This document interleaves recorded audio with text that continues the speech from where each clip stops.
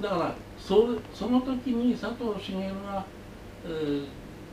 その自分が運動して動いてたのかな、うん、どうかということについては俺は、ね、一切頼んでもないし聞いてもないし分かんないけど、ただその時に佐藤茂が動いたっていうことを聞いたということは、そこは事実と、でその前に、えー、前年度の受かんなかった俺が受かんなかった時に受かったという情報が入ったんですよ。それが9月4日の日に受かったと、うん、ね。角さん受かったよ。だからもうあの安心しなっていう電話が入った、うん、それ誰から？うん、それは要するにうちの牧野っていうね、あのドロリーのハムの牧野これ仲介者ですよ、うん、うちと平成記念会の,、とあの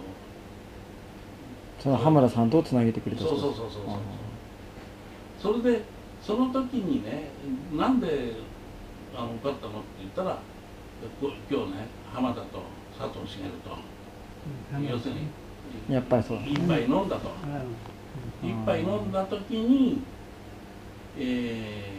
ー、なんか役所にわざわざそこで電話入れて。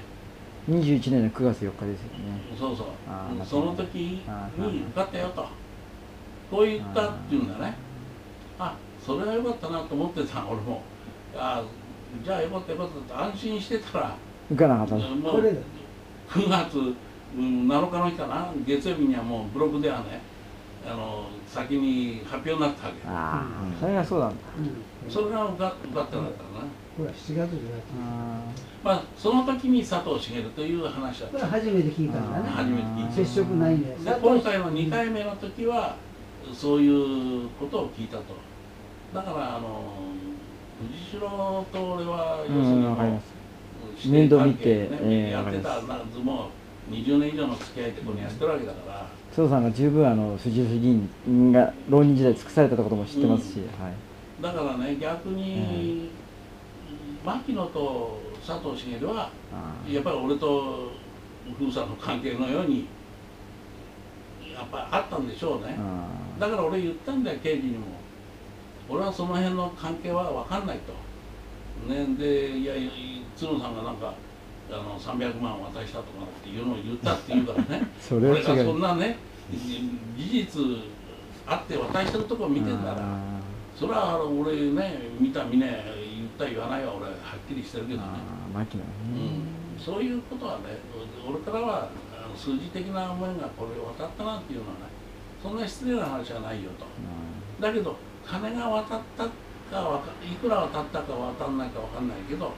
その4日の日に受かりましたと言った時にねまあ何かかしの例がされて、うん、えー、動いたんじゃないのという憶測だけはできる会話はありましたよということは刑事に言ってあげたの、だから数字がね300万だかね500万だかそれは数字のは分かんないと。だけど金が動いてそうじゃなきゃねそういう事情が入らんもんね。ねそういうことが入ってなおかつその次に怒り狂ってたんだよ。牧野がね、うん、あの野郎嘘いつつだって。普通はねいやそう言った何言ったって事情が変わる場合があるじゃないですか。だけどそこにやっぱりそういうねいやまあまあそれあれだけじゃないのよずっと今までね7つやってんのよ平成会と、うん、そのうち全部絡んでんだ彼ら。建築をやるにしても何にしても業者決めにしてもね。牧野茂はね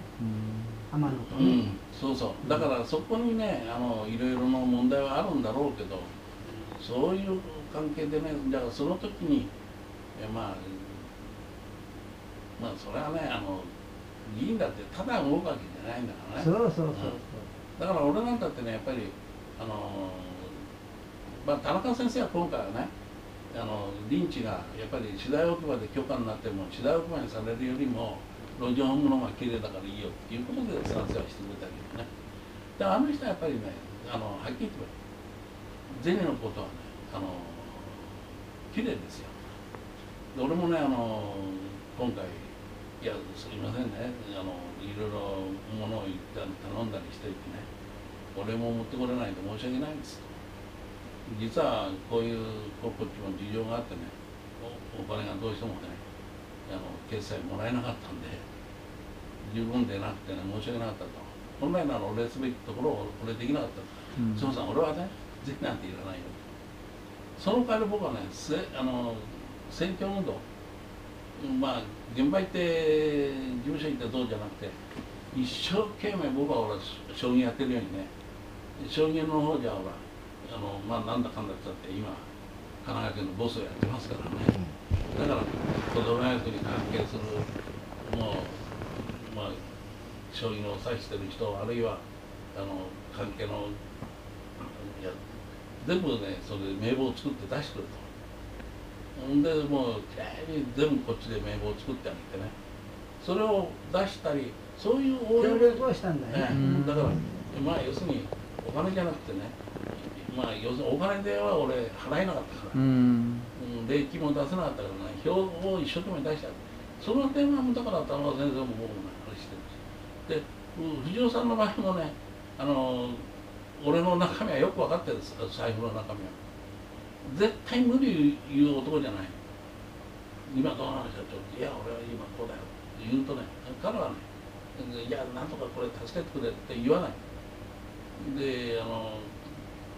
その代わり俺の場合は余裕がある時はねどんな面倒も今まで見てきてるから。うん。だからそういうあうんの呼吸はあるけどだけど今回ね佐藤茂っていう話を聞いてもね俺にはもう一切関係ないし、うん。この事業に関しては、えーまあ、平成会が入ったっていう時に本来ならあの政治家を使って動くのは平成会なんですよ。うん。ね我々は単なる開発して土地を売るだけだから、うん。ね、何も、まあ、受かんなきゃ要するにゼロになっちゃうっていう恐れもあるけどだけどうちにしてみりゃねあの手付金の、まあ、1000万2000万が流れたとしても事業のリスクってのはそれだけだったんですよ。ただじゃあなんで2回目も要するに俺頑張ってやったのっていう時にね地主の井上さんっていうのは病気でねも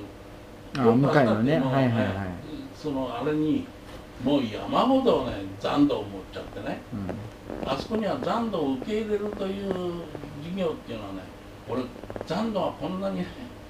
あのまあ現金になるとは思わなかったんだけどそれを最初から俺がよくね理解してればまああのあんな佐々木なんていうねセアドブなんてやらせなかったかもしれない。うん。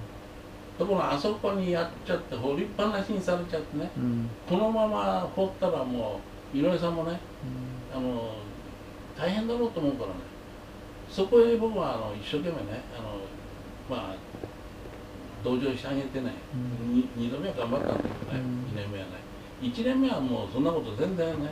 まあ政治家に任せてねこんなもん合格をするのは簡単だろう。ぐらいしか思ったかったいやそれが失敗だったね。だからそこにね現金が渡ったとか渡んないのなんていうのはね俺はこういう場で立ち会ってりゃね。それはね俺俺の性格から言ったらはっきり言っちゃう。もうもらったもらわない。とはね、まあ渡してないでしょうね。ううん。いやあなたじゃないんですよ。浜野からもらったっつってるかん、浜田か浜田。ら浜田から、うん。あの佐藤茂はそうやって保管をやってるからね。そこへ牧野が加わって。っていうそういうグループなんです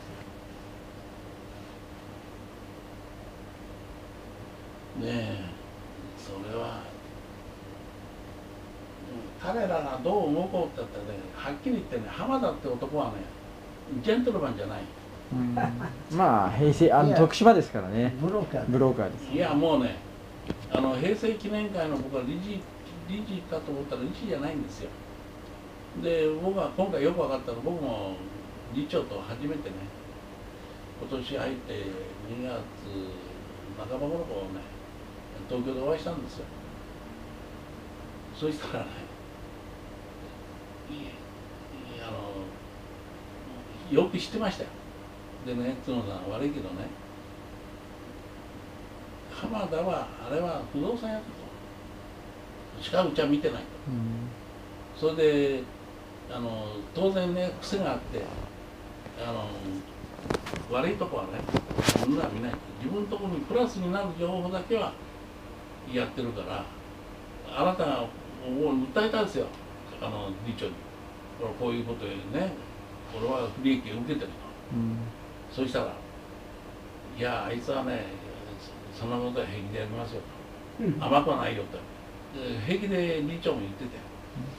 でそれで俺はね本当はね、えー、今今でもまだ引き渡しを完全にしてないわけですよ、うん、でこれをね俺銭に変えてね頑張ってやろうと思ってたんだけど田中忠樹さんがねこう言ったよ。角田さんね。あんたはねあの人見てね商売しなさいよ。自分が人がいいだけでは商売にならないよと。で銭のためにね見苦しい戦いだけはやめときなって。平成会に対して一生懸命ね許認可下ろしてくださいって自分は祈った気持ちで人にお願いしてたじゃないかと。今度は受かったらねこの野郎っつってね今度は老人ホームをやらせないための妨害するようなねことだけはやめた方がいいよ。いくら銭があの所持が払ったって。それはもう負けたんだと。もっとねはっきりあの田中先生もっとはっきりすること言ったね。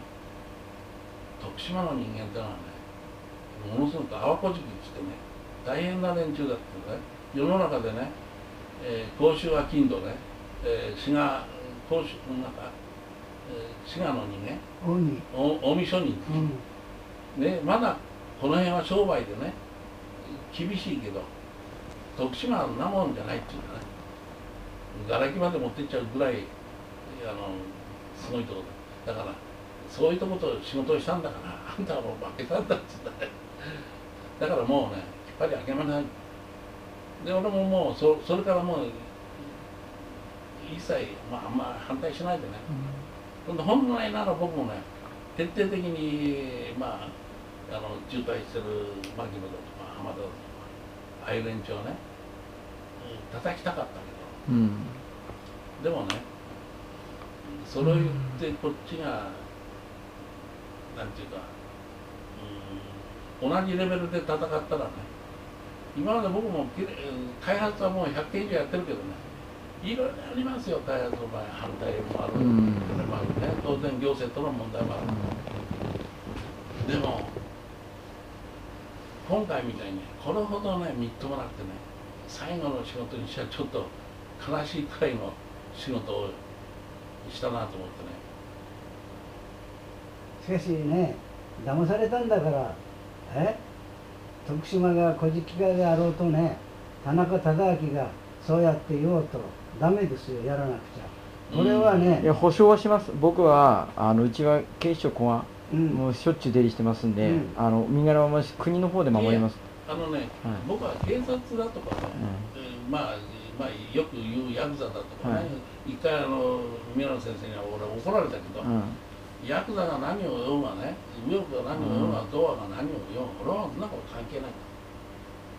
こう言ったらねその考え方改めなさいと。やっぱり叫ぶ以上は彼ら彼らのやっぱり中身があるんだよと。言われた時にねああそうだな。でもねあの対象としてる問題がね大きい小さいものあるじゃないですか、問題が。どんな小さい問題でもやっぱり人間っていうのはやっぱりそうやってぶつくぶつかる問題もあるけどね、僕らでももうこの年になってね